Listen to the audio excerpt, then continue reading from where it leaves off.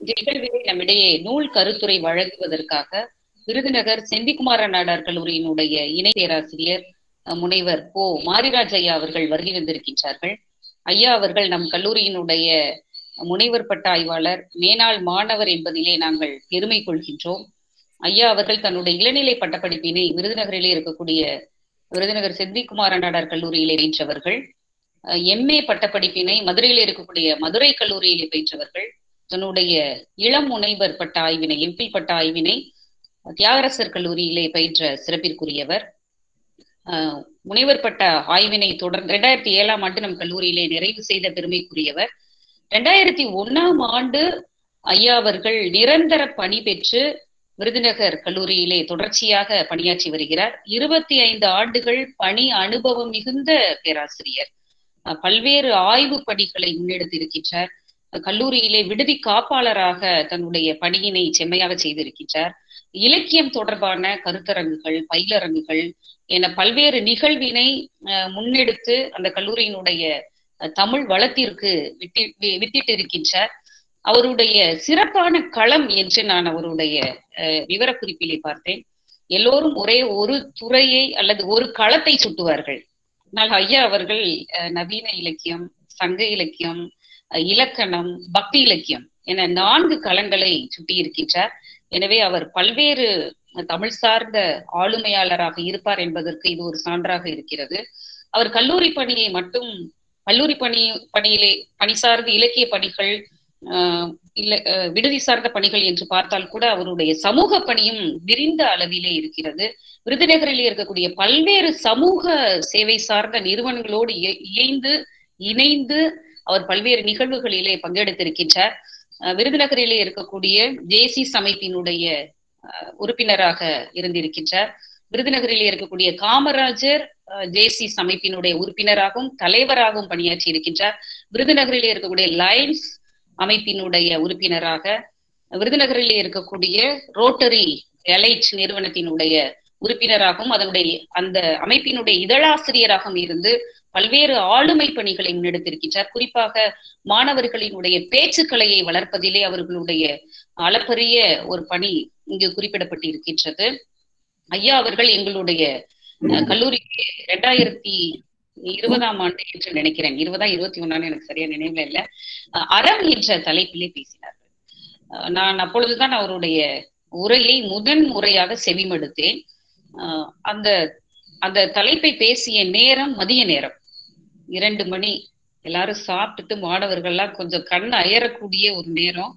ஆனா அந்த நேரத்துல வந்து ரொம்ப நகைச்சுவையோட மாணவர்கள் எல்லாம் உற்சாகமா இருக்கிற மாதிரி அவர் சிரி அதாவது சிரிப்பு காட்டி பேசல. சிந்தனைகளோடு அந்த நகைச்சுவையை கலந்து கலந்து அவர் பேசிய விதம் அந்த மாணவர்களை அப்படி ஈர்த்து வச்சது. நான் கூட சில நேரங்கள்ல ஒரு பத்து நிமிஷம் போயிட்டு வந்துருவேன். ஆனா அன்னைக்கு ஒரு மணி நேரம் முழுவதுமே அமர்ந்து அந்த நிகழ்வை கேட்டேன். ஏன்னா அவளு அவருடைய பேச்சினுடைய வல்லமை அப்படி அமைந்திருந்தது. ரௌத்ரம் பழகு என்று பாரதி கூறியதற்கு அவர் அவர் கூறிய விளக்கம் எனக்கு புதிதாக இருந்தது. அந்த விளக்கத்தை நான் அவரிடமிருந்து கற்றுக்கொண்டேன் என்றுதான் சொல்ல வேண்டும். கோபத்தை கையாள பழகு என்றுதான் பாரதியார் கூறியிருப்பதாக அவர் குறைத்தார். எனக்கு அது ஒரு புது செய்தியாக கூட இருந்தது. எனவே அவர் பேச்சாற்றலிலே வல்லவர். சுழல் வல்லன் சோர்வில நினைச்சான். அவனை இகழ் வெல்லல் யாருக்கும் அரிது என்று சொல்லுவார்கள். அதே போல பேச்சாற்றலிலே வல்ல வல்லமை வாய்ந்த ஒரு ஆளுமையாளரை இன்று நூல்வாசிப்பு முற்றம் பெற்றிருக்கிறது. ஆன்மீக சொற்பொழிவுகளை தொடர்ச்சியாக நிகழ்த்தக்கூடிய ஒரு பெருமை படைத்தவர் என்றும் நான் கேள்விப்பட்டிருக்கின்றேன். இன்று ஐயா அவர்கள் அதனால் அவரிடம் நான் பக்தி இலக்கியம் சார்ந்தே பேசுங்கள் என்ற ஒரு விண்ணப்பத்தை வைத்தேன். அதன் அடிப்படையிலே இன்று ஐயா அவர்கள் இந்திரா பார்த்த சாரதி அவர்கள் எழுதியிருக்கக்கூடிய இலக்க இலக்கிய இலக்கியங்களில் வைணவம் என்ற நூல் குறித்து பேசியிருக்கின்றார். எனவே பல்வேறு ஆளுமையாளராகவும் அறிவுத்திறன் சார்ந்த ஒரு பல் கலை வித்தகராகவும் திகழக்கூடிய முனைவர் போ. மாரிராஜ் ஐயா அவர்களை நாங்கள் பெரும் மகிழ்வோடு இந்த அவையிலே வரவேற்கின்றோம். வருக ஐயா வணக்கம். தொடக்க உரை வழங்கி அனைவருக்கும் வணக்கம். அன்புமொழி அம்மா அவர்களுக்கு நன்றி. இப்பொழுது நூல் கருத்துரைக்கான நேரம். தமிழ் இலக்கியங்களில் வைணவம் இந்திரா பார்த்தசாரதி அவர்களினுடைய நூல் குறித்து கருத்துரை வழங்குவதற்கு விருதுநகர் இந்து நாடா செந்திக்குமார் நாடார் கல்லூரியினுடைய தமிழ்துறை இணை பேராசிரியர் முனைவர் போ. மாரிராஜ் ஐயா அவர்களை அன்போடு அழைக்கின்றேன். பெரும் மதிப்பிற்கும் மரியாதைக்கும் தமிழ்துறை தலைவர் அவர்களே அருள்மொழி அவர்களே கல்லூரி முதல்வர் அவர்களே எம் கல்லூரியினுடைய முதுகலை தமிழ்துறை தலைவர் சிவனேசன் ஐயா அவர்களே முக்கியமா சொல்லணும். இந்த மாதிரியான ஒரு நிகழ்வை மிக சிறப்போடு தொடர்ச்சியாக நடத்துவதற்கு மிக அருமையான முறையிலே ஏற்பாடு செய்து கொடுத்து அதை தொடர்ச்சியாக வழிநடத்தும்படி ஆலோசனை வழங்கி கல்லூரியை திறம்பட நிர்வகித்து வரும் கல்லூரியினுடைய செயலர் அவர்களே ஏன்னா அருமைக்குரிய தம்பி முனைவர் சு. வினோத் அவர்களே அருமைக்குரிய தோழி சாந்தி அவர்களே மற்றும் மலேசிய சிங்கப்பூர் மலேசியா வாழ் தமிழ் சங்கத்தினுடைய முனைவர் குணசீலன் சுப்பிரமணியன் ஐயா அவர்களே முனைவர் ரத்ன வெங்கடேசன் அவர்களே முனைவர் வானதி ஸ்ரீ பகீரதன் அவர்களே திருமதி சக்தி விஜயகுமாரி அவருடைய அனைவருக்கும் என்னுடைய இனிய அங்க மாலை பொழுதா இரவு பொழுதாங்கிறது அம்மா சொன்னாங்க. இரவு எட் ஒன்பது மணி அப்படின்னாங்க. இரவு வணக்கத்தை நான் தெரிவித்துக் கொள்கிறேன். ஒரு குறுகிய காலகட்டத்தில் இந்த நிகழ்வை அம்மா ஏற்பாடு பண்ணாங்க. அம்மா சொன்னது மாதிரி இந்த நிகழ்வு வந்து இறைவன் கொடுத்த வரப்பிரசாதமாக நான் நினைக்கின்றேன்.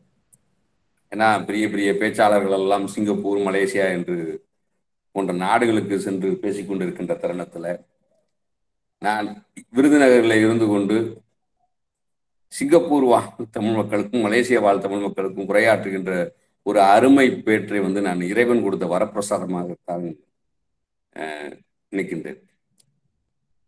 ஒரு அருமையான ஒரு தலைப்பு.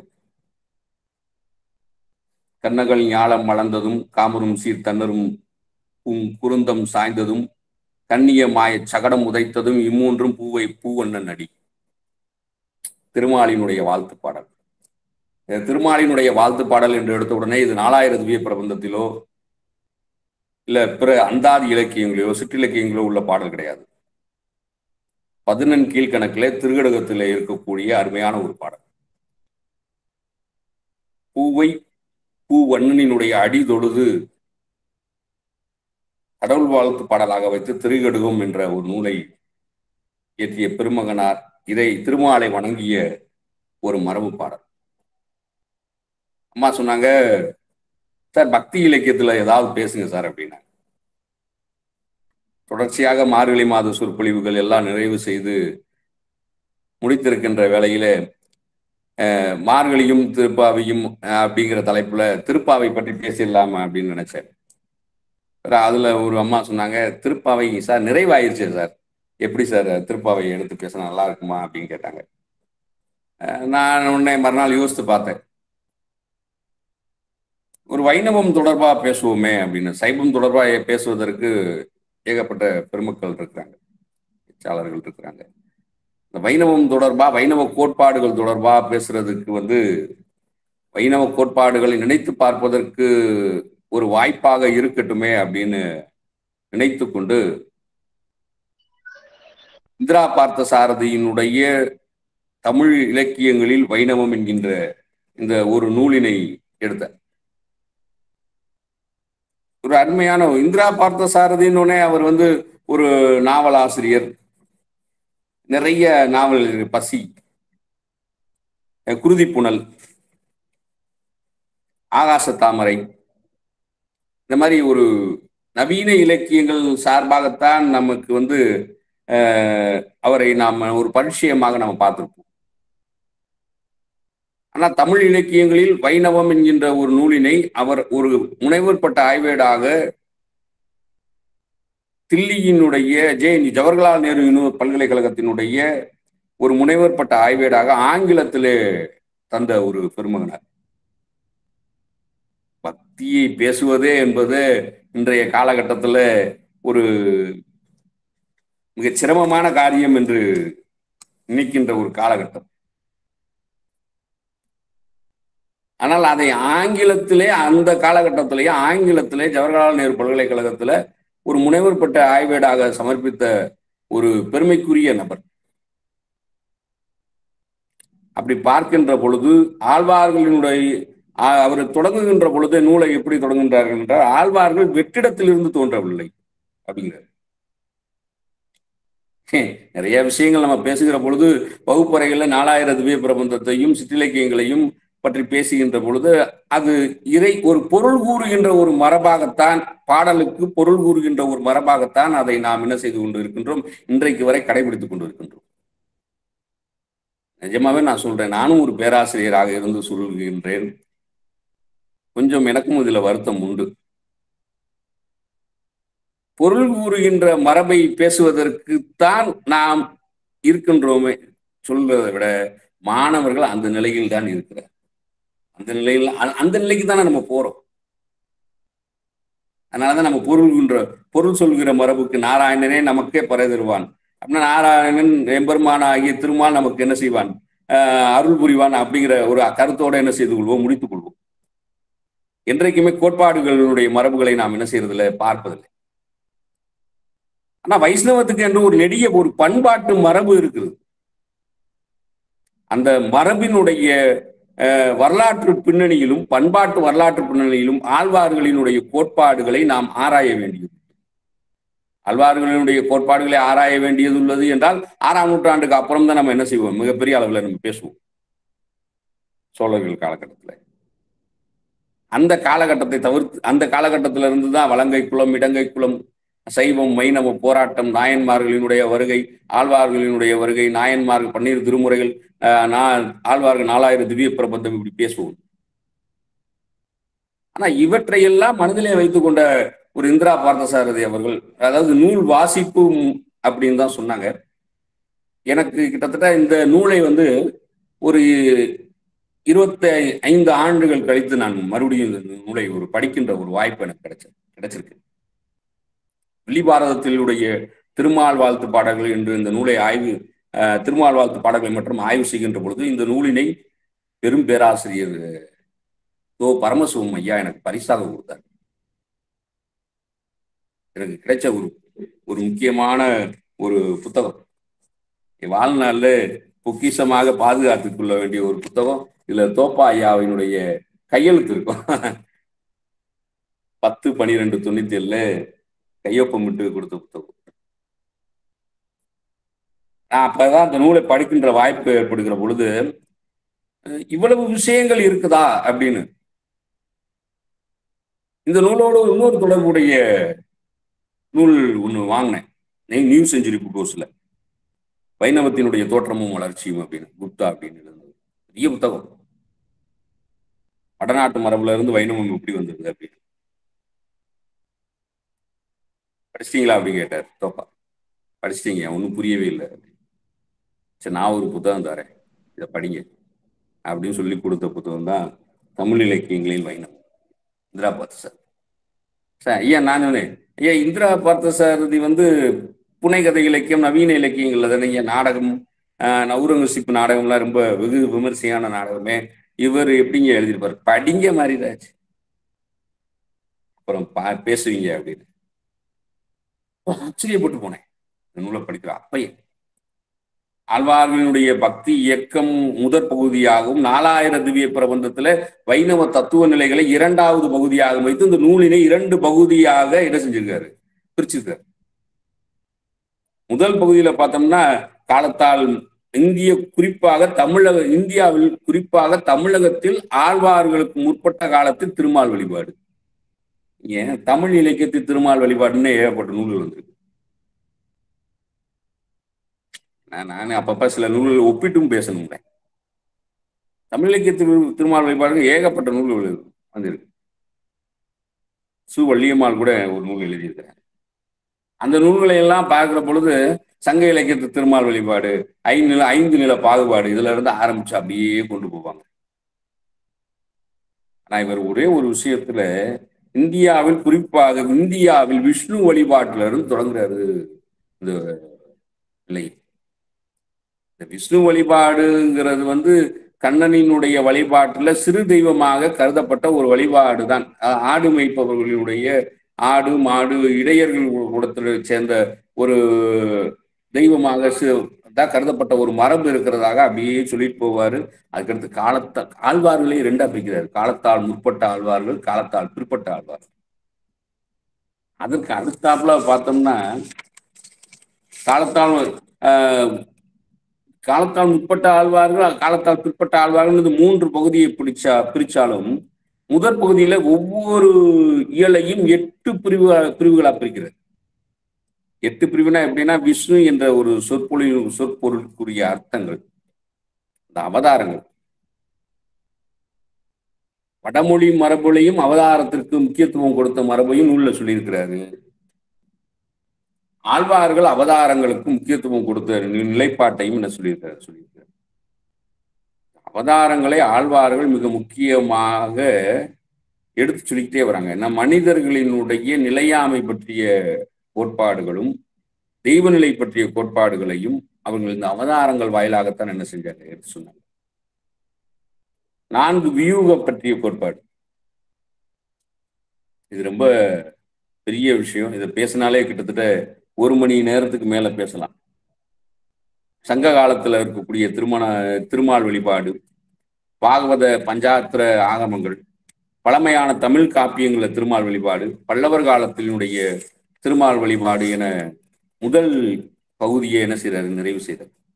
இந்த முதல் பகுதி வரலாற்று நோக்கில் இருந்தாலும் இரண்டாவது பகுதியில பக்தி இயக்க காலகட்டத்துல ஆழ்வார்களினுடைய பணிகள் எப்படி இருக்குது அப்படின்னு. இந்த முதல் மூன்று ஆழ்வார்களினுடைய காலத்தை தனியாக பிரித்து பார்க்கிறார். அதற்கப்புறம் மூன்று ஆழ்வார்கள் தவிர்த்து ஒன்பது ஆழ்வார்களினுடைய காலங்களை தனியாக பிரித்து ஆழ்வார்களினுடைய காலங்களை ஒரு இயக்கமாகவே வரையறுத்து செல்கின்றார் இந்திரா இப்போ ஆச்சரியமான ஒரு விஷயம். ஒரு ஒரு பக்தி இயக்க மூமெண்ட் அப்படிம்பாங்க. ஒரு புரட்சின்னு தான் சொல்லணும். ஏன்னா ஏன் புரட்சின்னு அப்படின்னு சொல்லணும்னா பக்தி அப்படிங்கிறத கொண்டு போறதை விட ஒரு எளிமையான தமிழை மக்கட கடைத்தேறுகின்ற மக்களுக்கும் கடைநிலையில் உள்ள மக்களுக்கும் கொண்டு செல்லக்கூடிய ஒரு அற்புதமான ஒரு நிலைப்பாட்டினை பிரபந்தங்கள் செஞ்சிருக்கு. இதுல மறுக்க முடியாது. ஏன்னா பன்னிரு திருமுறைகளை வேகமாக ஒரு வகுப்பு வரையில படிக்க சொன்னா நம்மளே படிக்க சொன்னா வேகமா படிக்க மாட்டோம். பன்னிரு அவ்வளவு கஷ்டமா இருக்கு. சொல் சொல்லாச்சு. ஆனால் நாலாயிரத்து பேர் பிரபந்தத்தில் அப்படி கிடையாது. பிரபந்தங்கள். ரொம்ப எளிமையான சொற்கள்.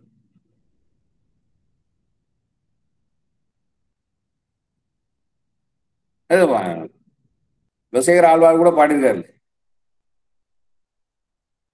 வெண் பொன் தட்டு வட்டிலா இருக்க கடவை கடவை அவ்வளவுதான். சின்ன வரி தான் அவ்வளவுதான். அப்படி ஒரு எளிமையான வரிகளை வைத்து மக்களிடையே கொண்டு சென்ற ஒரு அற்புதமான பணியை பிரபந்தங்கள் செஞ்சார் இப்படியெல்லாம் இவர் எழுதிட்டு வருகின்ற பொழுது மூன்றாம் பகுதியில ஆழ்வார்களை பிரித்து காண்பிக்க திருமலிசை ஆழ்வார் திருமங்கை ஆழ்வார் தொண்டரடிப்புடி ஆழ்வார் திருப்பான் ஆழ்வார் குலசேகர ஆழ்வார். பெரிய ஆழ்வார் ஆண்டாள் நம்ம ஆழ்வார் மதுரகவி ஆழ்வார். திருமலிசை ஆழ்வார் பாசுரங்கள் திருமங்கை மன்னன் அருளியவை தொண்டரடிப்புடி ஆழ்வாரும் திருப்பான் ஆழ்வாரும் அருளியவை குலசேகர ஆழ்வாரினுடைய பாசுரங்கள் பெரியாழ்வாரினுடைய பெரியாழ்வாரினுடைய பாசுரங்களும் ஆண்டாளினுடைய பாசுரங்களும் நம்மாழ்வாரினுடைய பாசுரமும் மதுரகவி பாசுரங்களும் தனித்தனியா பிரிக்கிறது. ஏன் தனித்தனியா அப்படி பிரிக்கிறாரு அப்படிங்கிறது எந்த கால முறையில பிரிக்கிறாரு அப்படின்னா ரொம்ப அருமையா ஒரு இடத்துல புத்தகத்துல சொல்றாரு. இந்த ஆழ்வார்களை பற்றி சொல்லுகின்ற பொழுது மூ மூன்று ஆழ்வார்கள் மட்டும்தான் வைஷ்ணவ மரபிலே அந்தன மரபிலே இருக்கக்கூடியது. மற்ற ஒன்பது பேர் வெவ்வேறு மரபுகளில் இருக்கக்கூடியது. பக்தி எப்படி பார்த்துருக்காங்க பாருங்க. வெவ்வேறு மரபுகள்ல இருந்து பார்த்தால்தான் நான் முன்னாடி ஒரு வார்த்தை சொன்னேன்ல கடை நிலையில் உள்ள மக்களுக்கும் என்ன செய்ய முடியும்? பக்தியை கொண்டு போய் சேர்க்க முடியும் அப்படின்னு அந்த வகையில பார்க்கும்போது பழமையான இலக்கியிலிருந்து ஆழ்வார்களுடைய காலம் வரை வரை கால வரன்முறையில் ஆராயும் ஒரு பாங்குனே இந்த நூல்ல என்ன செய்யலாம் பார்க்கலாம் திருமால் கோட்பாடுகளை பார்க்கிற பார்க்கிற பொழுது இப்போ உள்ள சூழல்கள் மாதிரியும் நம்ம பேசலாம். எனக்கு ரொம்ப சில விஷயங்கள் பிடிக்கும். நூலில் சொல்லியிருக்காரு. ஆரியர்களுடைய கோட்பாடு. திராவிடம் திராவிட மாடல் அப்படின்னு பேசுறாங்க. இது அரசியல் களம் கிடையாது. நான் அந்த சொல்லாட்சி வந்து நம்மளை ஒரு ஒரு நிமிடம் சிந்திக்க வைக்கக்கூடிய ஒரு சொல்லாட்சியாக இருக்கின்றது. அதுவும் தமிழ் உணர்வு அறிந்தவர்களையும் தமிழ் மொழி உணர்வு அறிந்தவர்களையும் பேச்சாளர்களையும் செய்திகளையும் அறிந்தவர்களையும் அந்த சொல்லாடல் கொஞ்சம் யோசிக்க வைக்கும். திருமால் கோட்பாடுகளை பற்றி பேசுகின்ற போது அவர் தொடர்புடைய பக்தி கோட்பாடு அபராத கோட்பாடு நான்கு வியூகங்கள் பற்றிய சிந்தனைகள் பஞ்சராத்திர ஆகமங்கள் ஆகிய அனைத்தும் ஆரியர்கள் வருகைக்கு முற்பட்டதான நடைமுறை என்பதும் நூல்ல இருக்கு. ஆரியர்களினுடைய வருகைக்கு முற்பட்டதான நடைமுறை என்பதும் ஆழ்வார்கள் இந்த நெடிய பழமையான பண்பாட்டு மரபினுடைய வாரிசுகளும் ஆவார்கள் என்பதும் ஆகும். ஒரு ஒரு இடத்துல குறிப்பிட்டு சொல்றாரு. எனக்கு ரொம்ப ஆச்சரியமா இருந்துச்சு. அஹ் அப்ப படிக்கும்போது கூட எனக்கு இந்த சிந்தனை இல்லை. ஒரு இருபத்தி ஏழு ஆண்டுகளுக்கு முன்னாடி படிக்கும்போது கூட எனக்கு சிந்தனை இல்லை. இப்போ இந்த சிந்தனை இருக்கு. சொன்னாங்க அந்த சொல்லாட்சி நம்மளை கொஞ்சம் யோசிக்க வைக்குது அப்படின்னு. என்ன யோசிக்க வைக்கிறது பாத்தீங்களா? கடைசி வரி ஆ- அந்த அந்த அந்த- ஒரு பேரால எழுதியிருக்கிற அந்த கடைசி வரி ஆழ்வார்கள் இந்த நெடிய பழமையான பண்பாட்டு மரபின் வாரிசுகள் ஆவார்கள் ஆழ்வார்கள் முன்னாடியா? திராவிடர்கள் முன்னாடியா? ஆரியர்கள் முன்னாடியா? இப்படி ஒரு ஆறு ஆழ்வார்கள் எந்த மரபுல இருந்து வந்தவங்க? இதெல்லாம் சிந்திக்க வைக்க வேண்டிய ஒரு ஒரு நூலா இருக்கு ஏன்னா சில விஷயங்களை வந்து காலச்சூழலுக்கு ஏற்றவாறு ஒரு ஆசிரியர் எழுதியிருக்கிறார் பாருங்க. அதுதான். அதுதான் சிறந்த நூல். வேற எதுவுமே கிடையாது. இது இது எழுதப்பட்ட காலம் வந்து ஆயிரத்தி எம்- தொள்ளாயிரத்தி தொண்ணூத்தி ரெண்டுல ஃபர்ஸ்ட் எடிஷன் வந்திருக்கு. அப்பனா அதுக்கு முன்னாடியே ஒரு ஆய்வு நூலை ஆய்வேட்டனை சமர்ப்பிச்சிருக்கணும். கிட்டத்தட்ட எண்பதுகள் ஆயிரத்தி தொள்ளாயிரத்தி எண்பது எண்பதுகள் டு தொண்ணூறுக்குள்ள இல்லைன்னா எண்பத்தி அஞ்சுல இருந்து தொண்ணூறுகளுக்குள்ள ச இந்த ஆய்வேட்டை சமர்ப்பிச்சிருக்கணும். அந்த காலகட்டத்தில் இப்படி ஒரு கோட்பாட்டு நிலையை வரையறுத்து சொல்லியிருக்கிறாருன்னா அது ஒரு ஒரு மிகப்பெரிய ஒரு நிலை. அப்புறம் ஒரு சொல்றாரு வேத காலத்துல இருந்து தொடங்கப்பட்ட பல தெய்வ கோட்பாட்டுல விஷ்ணு என்பது சிறு தெய்வம்ங்கிறார். எப்போ அது பெருந்தெய்வ நிலைக்கு ஆஹ், மாறப்படும் மாற்றப்படுகின்றது என்றால் அந்த ஆரியர்களினுடைய முழுமையான வருகைக்கு பின்பு அது ஒரு இடத்துல சொல்றாங்க. சிறு தெய்வம்ங்கிறத இவங்க சொல்லல. ரிக்வேதத்துல சொல்லியிருக்கான் பசு கூட்டங்களை காக்கக்கூடிய க ஒரு தெய்வம்தான் விஷ்ணு. மிகச்சிறிய தொய்மையா மிகச்சிறிய தெய்வமான வேதகால விஷ்ணு பரம்பொருள் நிலையை வேத காலத்திற்கு பிற்பட்ட காலத்தில் மிக மெதுவாக அடைந்தான். அந்த மெதுவாக அடைந்தான் அப்படிங்கிறதுக்கு ஒரு இடத்துல அருமையா ஒன்று சொல்றாருங்க. அஹ் இது ரொம்ப யோசிக்க வேண்டிய ஒரு விஷயம். ஆயிரத்தி ஐநூறு ஆண்டுகளின் பிற்பட்ட காலத்தில் ஆரியர்கள் இந்தியாவிற்கு வந்தனர். இது நான் அப்படியே அந்த அந்த வாசகத்தை அப்படியே வாசிக்கணும்னு தான் நான் நினைக்கிறேன். தங்களின் நாகரிக முதிர்ச்சியற்ற மரபுகளை அவர்கள் இங்கதாங்க ஜெயிக்கிறார்கள். தங்களின் நாகரிக முதிர்ச்சியற்ற மரபுகளை அவர்கள் விடாது போற்றி வந்த ஆரியர்கள் செம்பாதி நாடோடிகளாக இந்த நாட்டிற்குள் வந்தபோது இங்கு ஏற்கனவே இருந்த மக்களுடன் ஆரியர்களுக்கு முற்பட்ட பழமையான இனத்தவர்களுடன் குறிப்பாக திராவிட இனத்தவர்களுடன் அணுக்க உறவு பூண்டு வாழ தலைப்பட்டனர். அப்ப இந்த ஆழ்வார்கள் யார்? நம்ம இனத்தை சார் பின்னாடிதான் அவர்களுடைய மரபு என்ன செஞ்சிருக்க மாற்றப்பட்டிருக்குங்கிற ஒரு விவரத்தை இந்த நூலின் வாயிலாக இப்ப சமகாலத்துல ஒரு செய்தி அறிய முடியுதுன்னா இது ஆய்வு நூல். இந்த செய்தியை கொடுக்கிறதுக்கு எவ்வளவு பெரிய முயற்சி எடுத்திருப்பார்? திராவிட இனத்தவர்களுடன் அணுக்க உறவு பூண்டு வாழ தலைப்பட்டனர். இப்போது நாம் காணும் இந்து சமயம் இந்த இருவேறு பண்பாட்டு கலப்பினால் இணைந்து உருவான ஒன்றாகும்.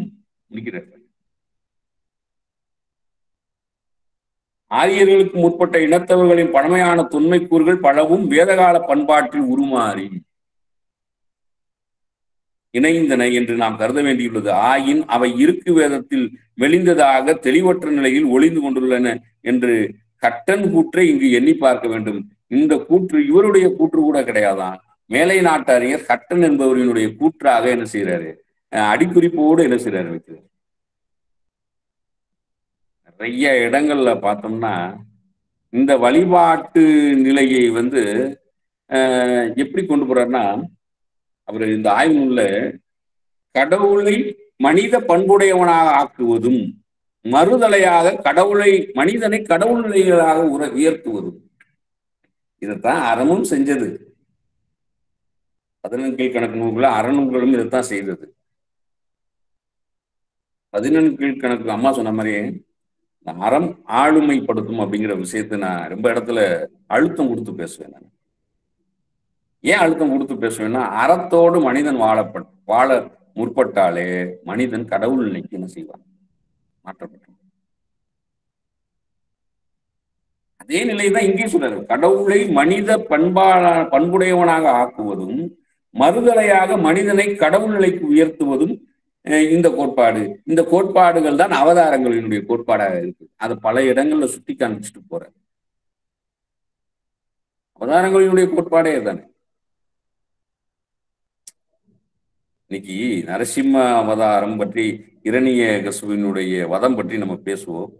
இரணிய கசுவினுடைய வதம் பற்றி பேசுகிறது இடத்துல அங்கு கடவுளை மனிதனாக உருவம் உருமாற்றப்படுவதும் அப்படிங்கிற ஒரு சிந்தனை தான் ஆனா நம்ம அதை யாரும் சொல்லி கொடுக்கறது கிடையாது.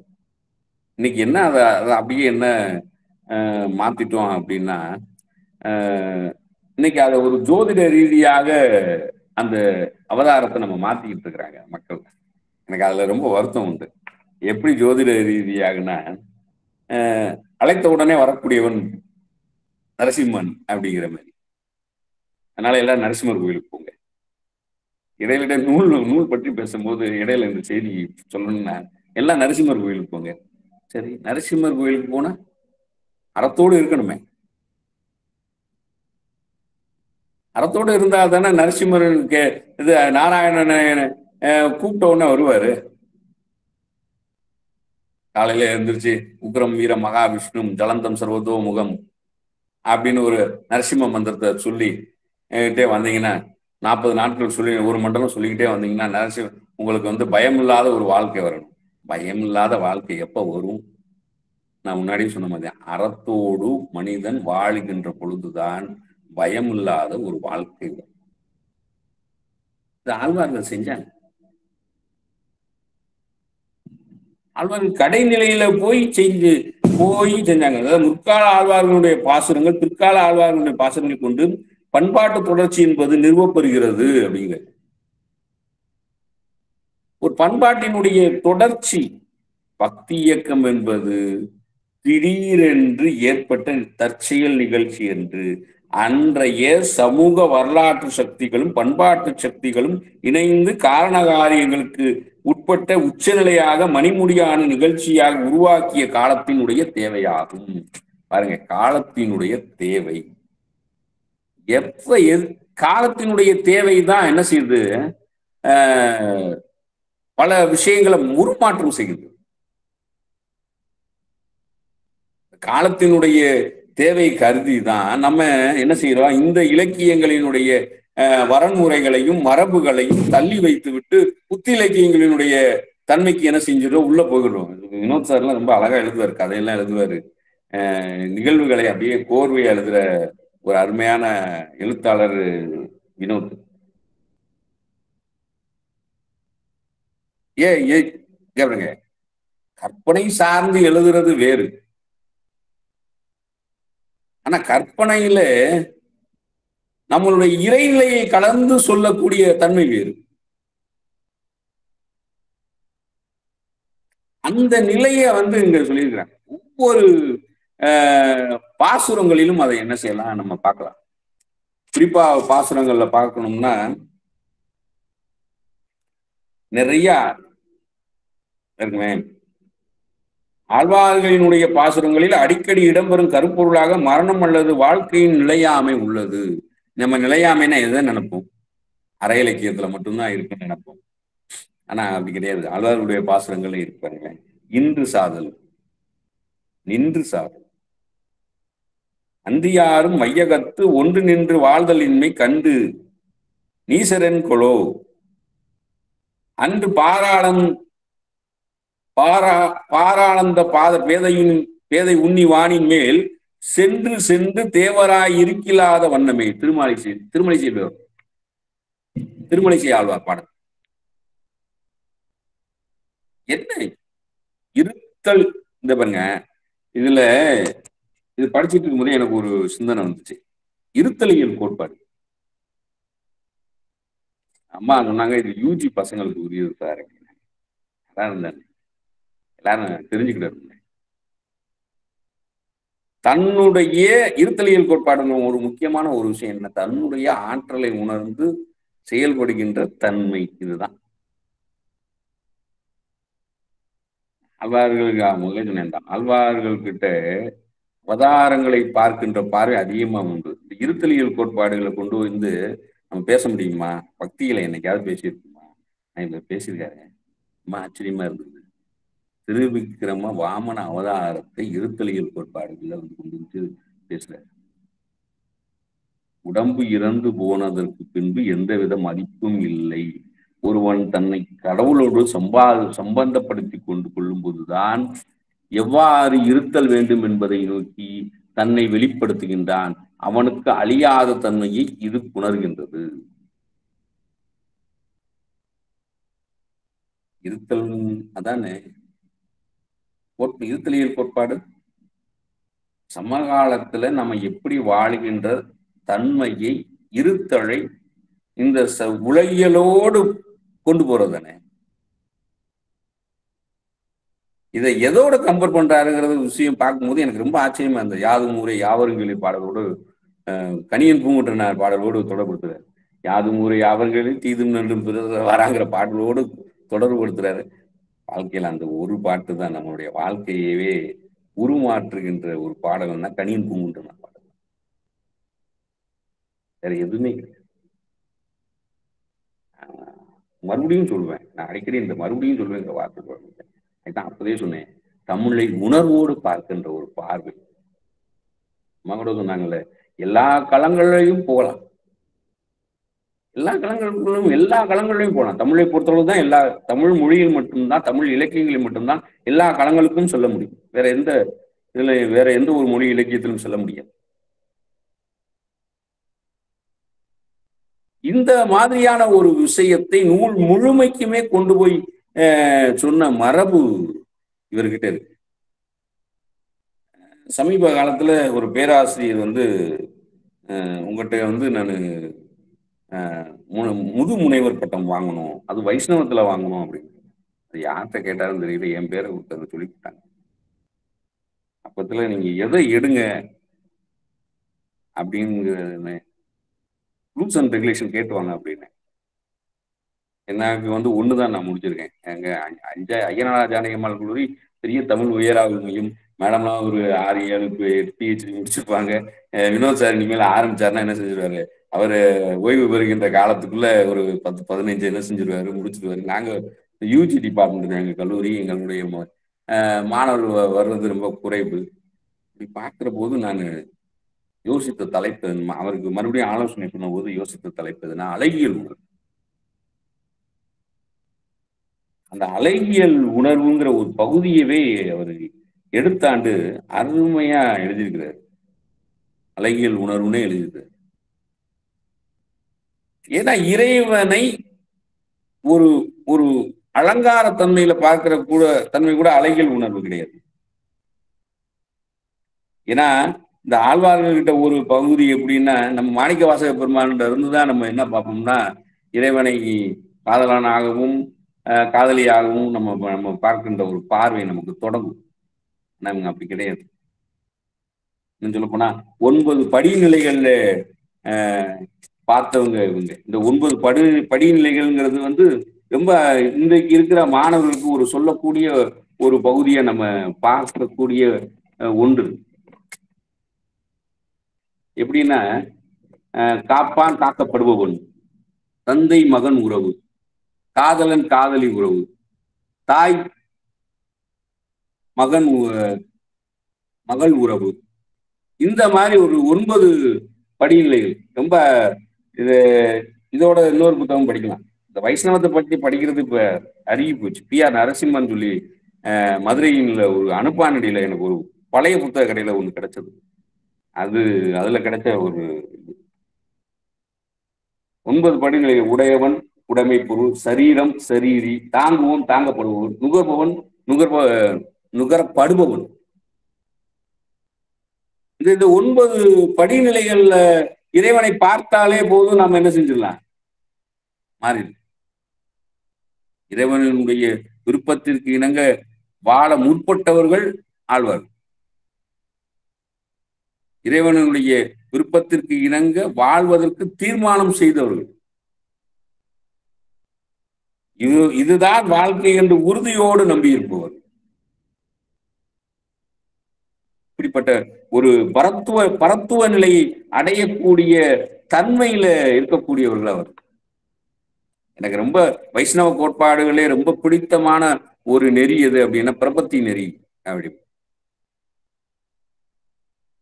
எப்படின்னா சகலமும் எம்பெருமானே அப்படின்னு சொல்லி அஹ், சரணாகதி அடைகின்ற ஒரு தன்மை. இந்த சித்து அசித்து ஈஸ்வரன் அப்படின்லாம் நம்ம பேசுவோம். நிறைய இடங்கள்ல பேசுவோம். ஆனா அதை விட இந்த பிரபத்தி நெறி இருக்கு பாருங்க. இந்த சரணாகதி அடைகின்ற தன்மை. நான் இதை ஏன் சொல்ல வரேன்னா இந்த ஆழ்வார்கள் வந்து நம்ம களவு வாழ்க்கையோடு தற்பியல் வாழ்க்கையோடு தோழியர் கூட்டமும் பாங்கர் கூட்டமும் அதுல பாடல்கள் இருக்கு. கா- அடுத்த பாடல் பாத்தீங்கன்னா கூடலும் நலம் பாராட்டலும் பாடல் இருக்கு. திருவிருத்தத்துல இருக்கு. அதற்கு அடுத்தாப்புல பார்த்தோம்னா வெறி விளக்கு அறத்தோடு நிற்றல் உடன்போக்கு இப்படி பாடல்கள் இருக்கு. இந்த எனக்கு ஒரு செய்தி இந்த இடத்துல சொல்லணும்னு நினைக்கிறேன். ஐயனாடா ஜானகி அம்மாள் கல்லூரியில இருந்து முதுகலை மாணவர்கள் நெட் எக்ஸாம் அதிகமாக பாஸ் பண்ணுவாங்க. அது என்ன காரணம் கேட்டேன்னா சிலபஸை வந்து இப்போ உள்ள மாதிரி தகுந்த மாதிரி மாற்றி வைப்பாங்க. அப்படி வைக்கிற பொழுது இந்த தத்துவ நிலையில ஏதாவது வைஷ்ணவ கோட்பாடு சைவ சமய கோட்பாடு அப்படின்னு வச்சு வச்சோம்னா இந்த இந்திரா பார்த்த சாரதியினுடைய தமிழ் இலக்கியங்களில் வைணவம் என்கின்ற ஒரு புத்தகத்தை உறுதியா வைக்கலாம். அப்படி ஒரு செய்திகள் அடங்கிய ஒரு நூல் தான் ரொம்ப அஹ், நிறைய விஷயங்கள் இதுல பேசலாம். இதுல இரண்டாவது பகுதியில பார்த்தோம்னா உணர்வுகள் அடிப்படையில உணர்வுகள் அடிப்படையில் வேத காலத்தினுடைய தொடக்க நிலையை சுட்டி காண்பிச்சு ஒவ்வொரு நிலைப்பாட்டையும் மிக எளிமையாக வலியுறுத்தி இந்த நூலினை என்ன சொல்ல போனா இந்த புத்தகம் வந்து தமிழ் புத்தகலாயத்தினுடைய வெளியீடு. நான் கொஞ்சமா தான் பேசியிருக்கேன் இதுல. நான் எழுதி வச்சதை விட கொஞ்சமா பேசியிருக்கேன். ஏன்னா ஆழ்வார்கள் பெரிய கடல் நாலாயிரம் பாடல்களும் நாலாயிரம் வேதங்கள். அப்படி ஒரு தன்மையுடைய பாசுரங்கள். ரொம்ப கொஞ்சமா பேசியிருக்கேன். நான் திரும்பவும் அப்பயும் மேடம் சாயந்தரம் பேசும்போது சொன்னாங்க மேடம் பெரிய தலைப்பாச்சே. நம்ம எப்படி அரை மணி நேரத்துக்குள்ள கொடுக்க முடியும்? அப்படின்னு யோசிச்சேன் நான். இது கொடுக்க முடியாது. ஆனா இதை நேரடியாக நான் ஒரு நாள் கூட வந்து நான் பேசுறேன் அப்படின்னு. கண்டிப்பா. நாம தமிழ் பேராசிரியர்களால் மட்டும்தான் சைவத்தையும் வைணவத்தையும் பக்தி நிலையில் இல்லாமல் கோட்பாட்டு நிலையிலே கொண்டு போய் சேர்க்க முடியும். வேற யாராலும் சேர்க்க முடியாது. வேற யாருக்கும் அதுல நேரம் கிடையாது. அவங்களுடைய அலுவல் அப்படி ஆயிப்போச்சு. நேரம் கிடையாது. மீண்டும் ஒரு ஒரு மீட்டுருவாக்கம் செய்யக்கூடிய நிலைமையில்தான் பன்னீர் திருமுறைகளும் திவ்ய பிரபந்தங்களும் இருக்குது. அந்த நிலையை நம்மளுடைய பே தமிழ் பேரா துறை சார்ந்த பேராசிரியர்கள் தான் என்ன செய்ய முடியும்? செய்ய முடியும். இந்த தருணத்துல ஒரு ஒரு ஒரு சின்ன அளவு அதாவது ஒரு துளி தான் கொடுத்துருக்கு இந்த புத்தகத்துல. தமிழ் இலக்கியங்களில் வைணவம் தமிழ் புத்தகங்களை வெளியீடு. இப்ப இந்த புத்தகம் வெளிவரதில்லை அதனால எனக்கு இந்த புத்தகம் வந்து தோப்பாயா கையெழுத்து இருக்கிறதுனால நான் ஒரு ஒரு பொக்கிஷமா அப்படியே பாதுகாத்து வச்சுக்கிட்டே இருக்கிறேன். என்னைய பொறுத்தளவு சொல்லுவேன். வைணவத்தினுடைய கோட்பாடுகள் குறித்த ஆய்வுகள்ல இன்று பலவிதமான ஆரிய கலப்பு சமஸ்கிருத கலப்பு. ஏன்னா நம்மளே என்ன செய்கின்றோம்? பெரியவாச்சான் பிள்ளை உரையை தானே முதன்மைப்படுத்தி பேசிக்கிட்டு பேசிக்கிட்டு இருக்கிறோம். பெரியவாச்சான் பிள்ளையில சமஸ்கிருத கலப்பு அதிகமா இருக்குது. ஏன் எளிமைப்படுத்தப்பட்ட ஒரு பிரபந்தத்துல நம்மளுடைய உரை அப்படின்னு ஏதாவது ஒண்ணு சொல்றோமா? எனக்கு அதுல அதுல ஒரு வேதனை உண்டு. நிறைய பேர்த்த சொன்ன உடனே நீங்க எழுதலாம்ல அப்படிம்பாங்க. நமக்கு அதுக்கு இறைவன் இன்னும் இன்னும் அந்த பாக்கியத்தை நமக்கு கொடுக்கல. பிரிவாச்சான் பிள்ளை உரையை தான் தேடுறோம். இன்னும் சில பதிப்புகளை வந்து உரை போடுகின்ற பொழுது திவ்ய பிரபந்தங்களுக்கு அப்படியே சொல்லுக்கு சொல்லு உரை தான் போடுறாங்க. அது மிகப்பெரிய தவறு. கோட்பாட்டு நிலையில திவ்ய பிரபந்தத்தை பார்க்கின்ற ஒரு மரபு இருக்கு இருக்கின்றது. அந்த மரபு சில பேர்கள் கிட்ட மட்டும் இருக்கிறதா நம்ம நினைச்சுக்கிட்டு இருக்கிறோம். நம்ம அப்படிலாம் நினைக்கவே தேவையில்லை. நம்ம கையில இருக்கு. சொல்லப்போனா வெள்ளி பாரதத்துல முப்பத்தைந்து பாடல்கள் கடவுள் வாழ்த்து பாடல்கள் உண்டு. என்ன சார்? ஒரு நூலுக்கு ஒரு பாடல் தானே இருக்கும்? கடவுள் வாழ்த்து பாடல். முப்பத்தைந்து பாடல்கள் இழிபுத்தர் ஆழ்வார் எழுதியிருக்காரு. எப்படி எழுதியிருக்காரு தெரியுமா? ஒவ்வொரு சர்க்கம் தோறும் ஒரு வாழ்த்து பாட்டு. ஒரு முப்பத்தைந்து பாடல்கள் வைத்து எப்படிங்க ஆய்வு செய்ய முடியும் அப்படின்னு நான் கேட்டேன் நான். தோப்பாயிட்ட தான் கேட்டேன். தோப்பாயா தான் எனக்கு தலைப்பு கொடுத்தாரு. ஞானசம்பந்த ஐயா கைடு. தோப்பாயா தலைப்பு கொடுத்தாரு. ஞானசம்பந்த ஐயா கைடு. ஏன் எப்படிங்க செய்ய முடியும் அப்படின்னு? முடியும்? படிச்சு பாருங்க. அப்படி படிக்க ஆரம்பித்த ஒரு நூல் தான் தமிழ் இலக்கியங்கள் வைணவம் இந்திரா பார்த்தசாரதியுடைய நூல். முப்பத்தஞ்சு பாடல்ல ஒரு நூத்தி ஐம்பது பக்கம் ஆய்வு செய்கின்ற அளவிற்கு செய்திகள் இருக்கின்றது. மனசு சும்மா இல்ல. வைஷ்ணவத்தினுடைய கோட்பாட்டினை கடைபிடிப்பவர்கள் அதிலிருந்து ஒரு பொழுதும் பிறள மாட்டார்கள் அப்படின்னு ஒரு வாக்கியத்தை நம்ம எல்லா இடங்களையும் சொல்லுவோம்ல. அதே மாதிரி ஒவ்வொரு கடவுள் வாழ்த்து பாடல்களையும் வைஷ்ணவ கோட்பாடுகளை உள்ள வச்சு வச்சுட்டு தான் மகாபாரத கதையவே கடைசி வரை என்ன செய்யறாரு கொண்டு போறாரு. அவங்க ஒரு ஒரு ஒரு சாரார்த்த மட்டும்தான் இந்த கோட்பாட்டு நிலை இருக்கணுங்கிறது நம்ம உலகத்துல பார்க்கிறோம். ஆனா திவ்ய பிரபந்தத்தை பார்க்கிற பொழுது முன்னாடி சொன்னேன்ல ஆழ்வார்கள் ஆரியர்களுக்கெல்லாம் முற்பட்ட ஒரு பண்பாட்டு மரபுடையவர்கள் இந்திரா பார்த்தி சாரதி ஐயா சொல்றதை வைத்து பார்க்கிற பொழுது நாமெல்லாம் பண்பாட்டு மரபை கடந்தவர்கள் அவர்களுடைய பாடல்கள் இருந்து வைஷ்ணவ கோட்பாடுகளை பார்த்தோம்னா இந்த ஒன்பது படிநிலைகள்ல வேகமா என்ன செய்யலாம்?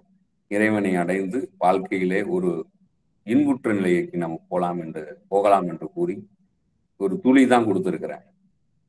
ஒரு இந்த துளியை விரும்பி கேட்ட அத்துணை உள்ளங்களுக்கும் என்னுடைய நன்றியை தெரிவித்துக் கொண்டு விடைபெறுகின்ற நன்றி வணக்கம். நன்றி. ஒரு சிறப்பான நூல் கருத்துரை. ஏன்னா பக்தி இலக்கியங்களை ரசனை அடிப்படையில் அல்லது கொஞ்சம் விளக்கம் அறிந்து கொள்கின்ற வகையிலும் பக்தி உணர்வோடும் பயில்வது என்கின்ற வகையிலிருந்து மாறுபட்டு ஏன்னா கோட்பாட்டு அடிப்படையில் பக்தி இலக்கியம் சார்ந்து வெளிப்படுகின்ற அந்த பண்பாடுகளை அறிந்து கொள்கின்ற ஒரு நல்ல ஆய்வு நூலை மேலும் பல ஆய்வு கருத்துக்களோடு இணைத்து அழகுற இங்கு பேசி வழங்கிய மாரிராஜ் ஐயா அவர்களுக்கு நன்றியை தெரிவித்துக் கொள்கிறோம். நன்றி. இப்பொழுது இந்த நிகழ்வு குறித்ததான கருத்துரை நேரம். கருத்துரை வழங்கி சிறப்பிப்பதற்கு முனைவர் ரத்ன வெங்கடேசன் ஐயா அவர்களை அன்போடு அழைக்கின்றேன். அனைவருக்கும் வணக்கம். நல்ல ஒரு நிகழ்வினை கேட்ட மகிழ்வு. ஒரு தெளிவான ஆற்றொழுக்கான பேச்சினிடையில் வைணவத்தை பற்றியும் வைணவ கோட்பாடுகளை பற்றியும் வைணவ கருத்து எல்லாம் வைணவ கோட்பாடுகளை பற்றியும் மிக விளக்கமாக அதே நேரத்தில் ஐயா இந்திரா பார்த்தசாரதி எழுதிய செய்திகளையும் இடையிடையே கோர்த்து மிக அழகாக சுவைபட சொன்ன பாங்கு பாராட்டுக்குரியதாக இருந்தது. துவக்கத்தில் திருமால் வாழ்த்து பாடல் திருகடிகம் காட்டுகின்ற பாடலை சொல்லி ஆரம்பித்து அது தொடர்பான பல செய்திகளை சொல்லி பசி குருதி புனல் ஆகாச தாமரை போன்ற நாவல்களை எழுதிய ஒரு ஆசிரியரால் எப்படி இப்படி ஒரு நூல் எழுத முடியும் என்று வியந்து பார்த்ததாகவும் அப்படி வியந்து பார்த்த அந்த ஆசிரியர் இந்திரா பார்த்தசாரதி அவர்கள் ஆய்வு நூலாக தந்த முனைவர்பட்ட ஆய்வேடு தான் இந்த நூல் என்ற செய்தியும். அதிலே அவர் கருத்துக்களாக தராமல் கோட்பாட்டின் மரபுகளை அடிப்படையாக கொண்டு அதனுடைய எல்லைகளை வைத்து இந்த நூலினை எழுதியிருக்கிறார் என்பதும் வைணவ மரபு என்பது பண்பாடு ஆழ்வார்கள் கோட்பாடுகளை ஆராய வேண்டும் என்பதுதான் அடிப்படை என்பதும் வைணவம் வந்தவரை தமிழகத்தில் ஆழ்வார்கள் காலத்தில் உட்பட்ட திருமால் வழிபாடு சங்க இலக்கியத்தில் திருமால் வழிபாடு இந்திய அதாவது இந்தியர்களுடைய விஷ்ணு வழிபாடு இடையர்களின் சிறுதெய்வமாக கருதப்பட்டவர் தான் திருமால் அந்த வழிபாடு. காலத்தால் முற்பட்ட பிற்பட்ட ஆழ்வார்கள் என்று வரிசையாக அடுக்கி சென்று எட்டு பிரிவுகளாக பிரிக்கப்பட்டிருக்கிற அந்த நூலினுடைய தன்மையை சொல்லி மனிதர்களின் நிலையாமை கோட்பாடு தெய்வங்களின் கோட்பாடு என்பது மனித நிலையாமை கோட்பாடும் தெய்வங்களின் கோட்பாடும் வெவ்வேறானவை என்பதும் தமிழர் காப்பியங்களில் திருமால் வழிபாடும் பல்லவர் கால திருமால் வழிபாடு அதோடு இரண்டாம் பகுதியில் ஆழ்வார்கள் பணி பற்றிய செய்திகள் ஆழ்வார்களின் வரலாற்றை ஒரு இயக்கமாக வரையறுத்து பேசுகின்ற தன்மை பிரபந்தங்கள் எளிய சொற்களால் கட்டமைக்கப்பட்டவை என்ற செய்தி. மூன்றாம் பகுதியிலே ஆழ்வார்களை விவரித்து காட்டுகின்றார் திருமழிசை ஆழ்வார் தொண்டரடிப்பொடி ஆழ்வார் என்ற ஆழ்வார்களுடைய பிற்கால ஒன்பது பேரினை வரிசைப்படுத்தி அவருடைய கால முறைப்படி ஆசிரியர் பிரித்திருப்பதை நமக்கு எடுத்து காட்டுகின்றார். மூன்று ஆழ்வார்கள் அந்தன மரபினராகவும் மற்ற ஒன்பது பேர் வேறு மரபினை சார்ந்தவர் என்பது புதிய செய்தியாக இந்த நூலில் தரப்பட்ட செய்தி மகிழ்வுக்குரியதாக அதே நேரத்தில் ஆய்வுக்குட்பட்டதாக இருக்கிறது. அந்த செய்தி இங்கே பதிந்தமை பாராட்டுக்குரியது. மக்களை கொண்டு அதாவது இந்த ஆழ்வாருடைய கருத்துக்கள் ஆழ்வாருடைய கோட்பாடுகள் மக்களை சென்று சேர்க்க முடிந்ததற்கு ஒரு காரணம் இந்த மக்கள் அத்துணை பேரும் பிற பிற அந்தனர் இல்லாத மரபினர்களால் கொண்டு சேர்க்க முடிந்தது என்பதும் ஆரியர்கள் கோட்பாடு திராவிட கோட்பாடு என்ற செய்தியும் காலச்சூழலுக்கு ஏற்றார் போல் ஆரியர்கள் அதை எழுதி எப்படி தன்மையப்படுத்தி மாற்றிக்கொண்டார்கள் என்ற செய்தியும் மனிதனை பண்பாடுடனாக காட்டப்படுவது இறைவன் பண்பாடு கடவுள் மனிதனை மனித பண்பு கடவுள் மனிதனாக மாற்று உருமாற்றம் பெறப்படுவது இந்த அதாவது இருத்தலியல் கோட்பாடு போன்றவை விவரமாக பேசப்படுவதையும் சொல்லி யாதும் ஒரே யாவரும் கேளே என்ற அந்த பாடலோடு தொடர்புபடுத்தி பிரபந்த நெறி அதாவது பிரபத்தி நெறி என்கின்ற ஒரு செய்தியோடும் இந்த அற்புதமான வைணவ கோட்பாடுகளை மிக நல்ல நல்ல நுணுக்கமான செய்திகளை ஆழமான செய்திகளை தனக்கு தான் படித்தவைகளையும் இந்த நூலில் இருந்தவைகளையும் கோர்த்து ஒரு மாலையாக தந்த பான்மை உண்மையிலேயே பேராசிரியர் மாரிராஜையாவை பாராட்ட வேண்டும். அற்புதமாக ஒரு ஆய்வினை தந்த அந்த நூலு அந்த நூலினை முழுமையாக படித்தது போன்ற ஒரு உணர்வினை ஏற்படுத்தி உணர்வினை ஏற்படுத்தி நமக்கு தந்த பான்மைக்கு அவருக்கு பாராட்டும் நன்றி வாழ்த்தினையும் தெரிவித்து ஐயனாடா ஜானகியம்மாள் கல்லூரி தொடர்ந்து இது போன்ற நல்ல நிகழ்வுகளை வாயிலாக நடாத்தி நல்ல நெஞ்சங்களையும் குறிப்பாக அருள்மொழி பேராசிரியர் அருள்மொழி அம்மா அவர்களையும் பேராசிரியர் வினோத் அவர்களையும் பேராசிரியர் சாந்தி அவர்களையும் அருமை நண்பர் முதல்வர் அசோக் அவர்களையும் நெஞ்சம் நன்றியோடு கூறி மீன் நல்ல வாய்ப்புக்கு நன்றி பாராட்டி இடம் சேர்கின்றேன். நன்றி வணக்கம். கருத்துரை வழங்கி சிறப்பித்த ரத்ன வெங்கடேசன் ஐயா அவர்களுக்கு நன்றி. அடுத்ததாக கருத்துரை வழங்கி சிறப்பிப்பதற்கு எலிசபெத் அம்மா அவர்களை அன்போடு அழைக்கின்றேன். மைக் மியூட்ல இருக்கு. வணக்கம் ஐயா. பேராசிரியர் அவர்கள் என்னை ஏறக்குறைய இருபது வயதிற்கு கொண்டு இருபது வயதுல பத்தொன்பது வயதுக்கு கொண்டு வந்த சொல்ல வேண்டும் என்றால் ஒரு அருமையான தமிழ் வகுப்பிலே உட்கார்ந்த எங்க இலக்கிய வரலாறு என்ற பகுதி ஒன்று ஒன்று நாங்கள் பிஏ படிக்கும் பொழுது அந்த வகுப்பில் அமர்ந்திருப்பது போன்ற ஒரு உணர்வை ஐயா அவர்கள் ஏற்படுத்தி விட்டார்கள். மிகவும் நன்றி ஐயா. ஆஹ் பக்தியை பற்றி பேசுவதே இந்த காலத்தில் கஷ்டம் என்று சொன்னார்கள். ஆனால் ஐயா அவர்கள் இறைவன் அழைத்தால் அவன் வருவதற்கு நம்மிடத்தில் தகுதி இருக்க வேண்டும் என்ற நல்ல ஒழுக்கத்தை அழகாக சொன்னார். அதுல எனக்கு ஒரு அழகான குரல் ஞாபகம் வந்தது. தனக்கு உவமை இல்லாதான் தான் சேர்ந்தார் கல்லால் மனக்கவலை மாற்றல் அருது என்று இரண்டு அடிகளிலே முடித்து விட்டான் வள்ளுவர். நன்றி ஐயா. இந்த அரை மணி நேரம் போனதே தெரியவில்லை. உங்கள் மாணவரையாக இருந்திருந்தால் நன்றாக இருக்கும் என்று நினைக்கிறேன். வணக்கம். கருத்துரை வழங்கி சிறப்பித்த எலிசபெத் அம்மா அவர்களுக்கு நன்றி. நிறைவாக நன்றி உரை நன்றி உரை வழங்குவதற்கு முனைவர் சாந்தி அவர்களை அன்போடு அழைக்கின்றேன் அனைவருக்கும் இனிய மாலை வணக்கம். நூல் வாசிப்பு முற்றம் நிகழ்வு நூற்றி ஏழு.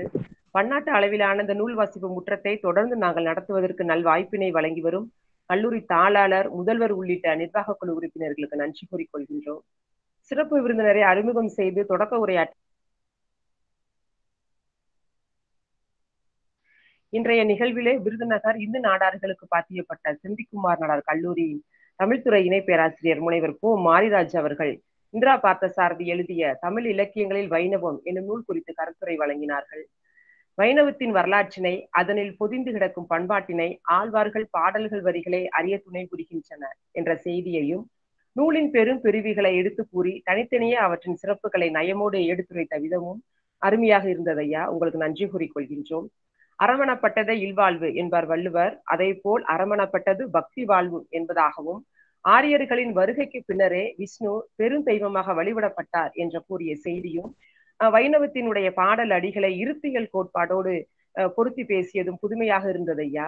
அது மட்டுமின்றி வைணவத்தோடு தொடர்புடைய பிற நூல்களை சுட்டிக்காட்டி பேசியது ஆய்வு மாணவர்களுக்கு பயனுள்ளதாகவும் இருந்தது.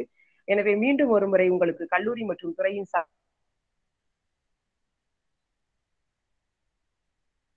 திருப்புரை சார்ந்த ரத்ன வெங்கடேசன் ஐயா அவர்களுக்கும் எலிசபெத் அம்மா அவர்களுக்கும் நன்றி. மலேசியாவை சார்ந்த முனைவர் அருள்நாதன் ஐயா முனைவர் குணசீலன் சுப்பிரமணியன் ஐயா ஆறுமுகசாமி ஐயா டி. என். ராமசாமி ஐயா ஆகிய அத்தனை பேருக்கும் நன்றி. தொடர்ந்து நமக்கு ஆர்வமும் ஊக்கமும் அளித்து வரும் கல்லூரி பேராசிரியர்கள் மாணவர் கூறிக்கொள்கின்றோம் நன்றி.